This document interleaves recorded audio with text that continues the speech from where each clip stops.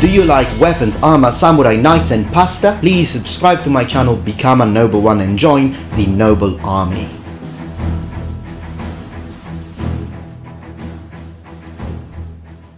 I have a lot of miniatures. I mean, look at that. I post pictures of my miniatures, painting and battle reports on my Instagram, so if you're curious, check it out. Given I also post pictures of pasta, but nobody's perfect. Hello noble ones, welcome back to my channel. This is the Metatron speaking. In the Roman period, Roman legionaries had to face loads of different threats, coming in the forms, of course, of weapons utilized by their opponents. Now, of course, to keep the soldiers protected, they had massive shields, but they were also clad in metal armor. Now we do know that the Romans fared pretty well in combat for a multitude of reasons, but among these many reasons, the equipment that they were wearing, the fact that every single soldier was, had access not only to good weapons but also to relatively good uh, equipment in terms of armor, also played an important role. Now we know that Roman armor was pretty good at keeping the soldiers safe from the weapons of the time. Now from a classical perspective, a sword, a medieval sword such as this one in the late 13th century, Oakeshott type 12 would be utterly futuristic. But would Roman armor be able to protect soldiers if they were hit with something like this? No problem. Alright, that concludes the video. Thank you for watching. Roma Invicta! I'm joking. Can you imagine like mass unsubscribe?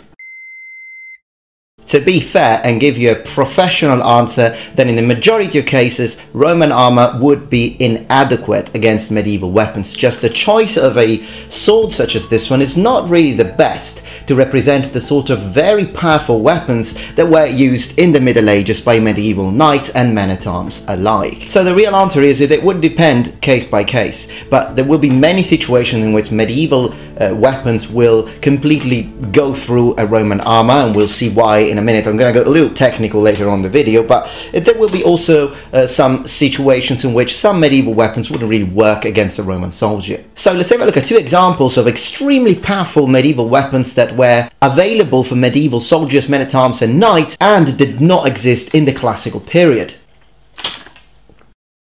The first one of the two is going to be the lance used by a knight on horseback. Now you might be asking, but didn't the Romans have to deal with stuff like that anyways? Like when they had to face populations that were mostly mounted in combat. And yes, they had to face something similar, but ultimately completely different. When you use an actual spear on horseback in the sort of way that it was done in the classical period, although it might appear like a similar situation, it's actually a completely different setup uh, with a completely different kind of power than a lance used by a medieval knight. One thing is a soldier using his horse as of course a fighting platform and he's trying to stab you from it. But a medieval knight is using a lance. A lance is a better weapon than a spear on horseback. First, you've got more range, but then in the medieval period they would use a specific technique. They would put it underneath their armpit and that would give it a stronger and solid grip. Pair that with a pair of stirrups and if we look in the later period, also a lance rest, which would be this, that you can see here in this picture, it will act as a shock absorbent. So ultimately the amount of power that a lance in full charge from a medieval knight who has access to all of these development and improvements is going to be incredible. Would a medieval knight in full charge be able to penetrate Roman armor if he hits the soldier properly? In the majority of cases, yes. So far I've been talking about power, but what we're actually talking about is kinetic energy transferred to the target. In order to go through and penetrate a wrought iron plate of 1.9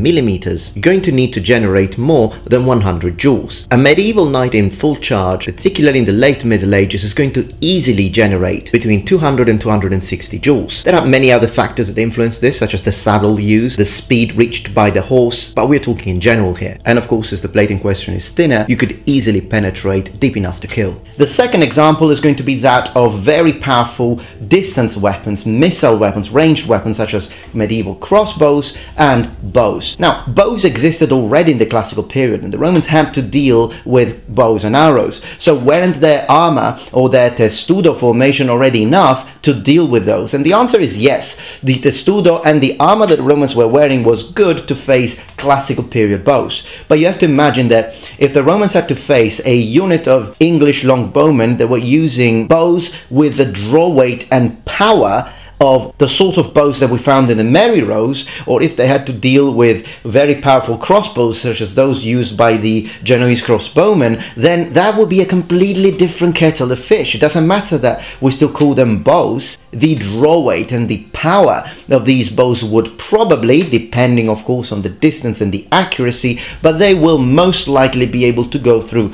Roman mail, Roman segmentata, Roman musculata, etc. So why is that? You see, these weapons were extremely powerful, and that is why armor had to develop. It's a constant race of development between the increase of power of weapons and the increase of protective capabilities of armor. This happened in Europe a lot because European countries were fighting all the time, which ignited continuous research and improvement. When we're looking at the sort of armor that were used by medieval mounted nobility, we're not only looking at a better kind of steel, because we are. I mean, in the Roman period, of course, you would have found a lot of iron, you would have found some steel sometimes, so it would be low carbon steel the most. Instead, with the medieval period coming along, yes, you would still have some iron armor, yes, you would still have some low carbon steel, but the further along you go into the medieval period, the majority of people who were doing this professionally had access to medium carbon steel and very well heat treated carbon steel. For example, in this case, my Roman armor is actually mild steel, whereas this is heat treated medium carbon steel. The difference in the defensive capabilities of these two kinds of steel is enormous. Could they not heat treat mild steel? Well, you can, but it doesn't do anything. On my channel, I mostly talk about weapons and armor, but if you're also interested in day-to-day -day things, then lately I've been working on a project about the looks of women in ancient times. It's a collaboration with my girlfriend. You'll find a link in the description below to the video where we have done the research and recreated the looks of a Roman woman. Check it out and say hello from the community of number ones. But also it's the shape. I mean, if you look at the breastplate, and this is a 14th century breastplate, of course, if I had to compare my Roman uh, equipment with 15th century, 16th century, the gap would be enormous. But even in the 14th century, which is the period when uh, plate armor starts to become even more and more common, uh, you see that this breastplate is rounded. Now, originals tend to be even a little more rounded than this one, but this already kind of gives us an idea. The reason for this is that any lance, any thrust, any missile that tries to penetrate this will have to deal with a rounded surface rather than a flat surface, which helps dissipate the force and encourage the weapon to glance off. Roman armor instead tends to be flat and that doesn't help uh, against those kind of powerful weapons. It was good and it did the job back in the day, but of course, 500 years, a thousand years of technological war, military development will come up with better solutions. And as I said, if you go into the 15th century, they even had to come up with sort of kinds of armor that was made of several different layers of, of steel, such as the sort of Milanese suits, and for example, this one here that I'm having produced, that you can see has got in the very core, in the center of mass, uh, you have two layers of. Now don't get me wrong, Roman armor is also ingenious and sometimes you also need to deal with two layers of steel, such as in this case, like for example if you attack me here, then you'll have to deal with this plate and the breastplate underneath, that's two layers of steel. But that doesn't happen as much and it's not as globular as medieval, it's not as well engineered as medieval armor. And the reason for that again is the sort of threat that weapons posed in the medieval period, which was completely different to the sort of threat that you would have to face in the classical period. So what about shields? Well, we do know that the Romans utilized very large shields for the majority of the time with some exceptions. But sometimes shields are not enough and uh, depending on the strength of the bow some arrows might go through uh, at least partially and again it's very difficult to remove arrows from a shield once they it's penetrated particularly if they have a lot of penetrative power and you can see that at Tod's workshop channel because he makes all sorts of videos about this, highly suggested. So even though the Romans were top notch in terms of military technology at the time, if you had this sort of equipment and you found yourself in a late medieval battlefield, you would be in trouble. Unless their general is a complete idiot and yours is a genius, which I mean, can happen. But at the beginning of the video I did say that there are some weapons that even though they are medieval and technically futuristic, Roman armor would still work well at defending you against. So going back to medieval swords and then we're going to look at some other weapons as well like maces and whatnot, but um, medieval swords, they are of course better than Roman swords because they have a better steel, sometimes even high carbon steel, spring steel. Uh, they are longer because now uh, medieval smiths have mastered the usage of steel. You gain more reach and they tend to be pointier because they tend to specialize more and more uh, against armor. So if you try and slash a Roman with this, it doesn't matter that this is high carbon steel. Uh, it doesn't matter that this can be very sharp. You're still not going to cut through plate and you're not going to cut to, through Roman mail. And I'm going to talk about Roman mail and medieval mail in a moment to understand what the difference would be. Um, but no, you're not going to cut through it. As you start having swords that are specialized to go through the gaps of armor, such as the estoc, for example, the tuck, which is one of my favorite swords, by the way, then a sword like that could be used effectively against a Roman. Um, given, not an easy thing to do considering the scutum, but still possible. It could also be protective against maces and warhammers, but of course maces and warhammers, they are very good at hitting you and hurting you through armor. Now, I have spoken about this in the past, and I'd like to sort of clarify a little bit. Yes, these could be considered anti-armor weapons in the sense that if you get hit with this full force on the helmet, even though it's not going to perhaps crack your skull, thanks to the skull of the helmet, but you're still gonna feel it. you might, you know, start throwing up. It might stun you. There are a lot of other things that can happen. It can hurt your spine. And remember, medieval helmets tend to be more optimized than, um, well, it depends on the helmet, but they tend to be more optimized against these kind of blows as well. Uh, the Roman helmets, they are slightly rounded, but they're not uh, as rounded as Sugarloaf medieval helmets. So again, it's a similar situation. The more, the further up you go into the Middle Age, the more armor shape becomes becomes functional more and more. But with that being said, if someone hit me full force here, um, it doesn't automatically mean that my armor is dealt with. There are a lot of variables that need to be considered. It's not like every hit with a mace or every hit with a warhammer against someone in armor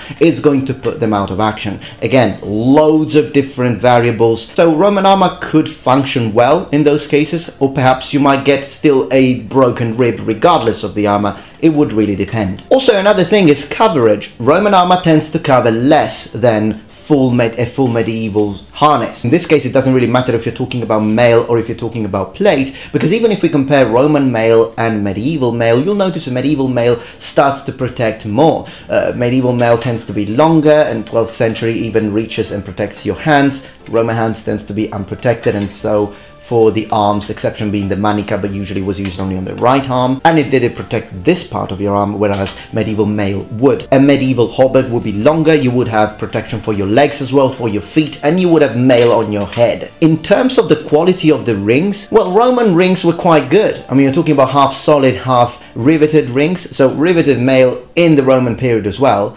Again, most of the times it would be iron or very, very low carbon steel sometimes, in the medieval period again, you would still have sometimes mm, uh, iron uh, mail, but you would also start having better and better kind of steel mail. So medieval mail usually would have better coverage, better material. But having said this, I'd like to enter the final part of this video, which is when does something stop being Roman and becomes medieval? Now bear with me for a second. Now I know there's scholars and historians disagree uh, when talking about the length of the medieval period. Some people say it's from 1000 to 1500 and some people say it's from the 5th century to the 16th. Now for the purposes of this video I'd like to talk about the longer version of the medieval period, so from 500 AD to 1500 AD. Let's say that you are a 20 year old boy and you have inherited some mail from your father and he has inherited it from his father. So this is definitely late Roman mail. It is 499. Alright, fantastic. So a few months pass by and another few months pass by. Let's say it's now 501 AD. Are you still wearing Roman mail or is this medieval mail? Most likely a lot of Roman equipment was reused, repurposed. Perhaps some of the metal was removed and recreated,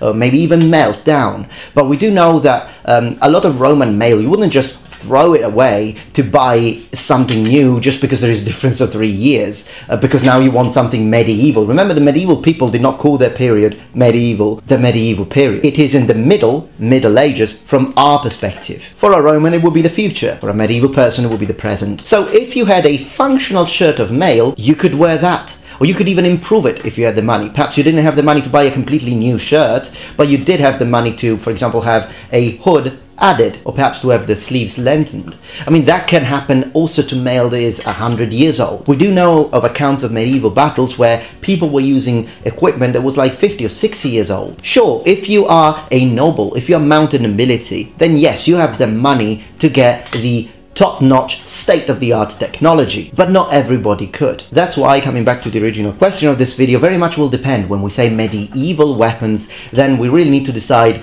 what, what, what period. Are we talking about like 1000 AD versus 30 AD? Uh, then there will be a huge, massive, enormous difference. But if you're talking about 500 against 600, well, not that much. But let me know what you think. I'd like to hear your opinions in the comments below, and I will see you again on Saturday for my next video. Thank you very much for watching, and remember, the Metatron has spread his wings. Salvete!